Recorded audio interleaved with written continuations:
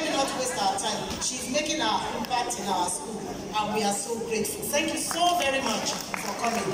Thank you. I'm a better keynote speaker than our own. So another round of applause as she takes the microphone. Thank you. Aisha Ahmad is the Deputy Governor, Financial System Stability at the Central Bank of Nigeria, CBN. She is responsible for oversight of banking supervision, financial policy and regulation, payment system management, other financial institution supervision, and